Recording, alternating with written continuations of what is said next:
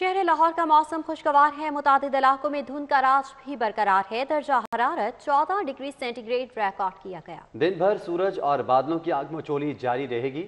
शहर में हल्की धुंध के साथ सर्दी बरकरार है, जबकि शहर का दर्जा हरारत 14 डिग्री सेंटीग्रेड रिकॉर्ड किया गया है।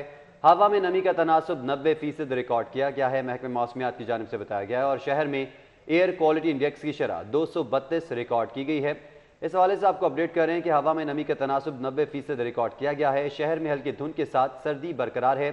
शहर का दर्जा हरारत 14 डिग्री सेंटीग्रेड रिकॉर्ड किया गया है। हवा में नमी का तनासब नब्बे फ़ीसद रिकॉर्ड किया गया है। महकमे मौसमियात के मुताबिक शहर में एयर क्वालिटी इंडेक्स की शरह दो सौ बत्तीस रिकॉर्ड की गई है। जी हाँ शहर का दर्जा हरारत चौदह डिग्री सेंटीग्रेड रिकॉर्ड किया गया मौसम का अहवाल जानेंगे कोमल से। कोमल बताएगा, कैसा रहेगा शहर लाहौर का मौसम?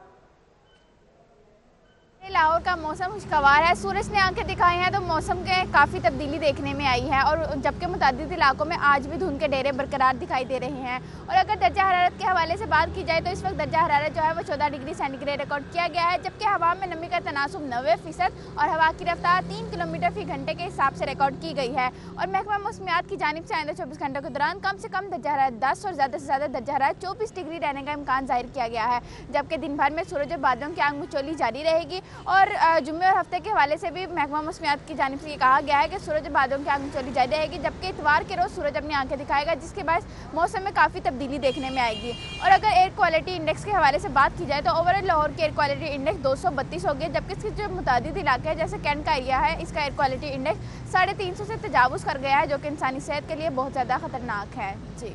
बहुत शुक्रिया आपका।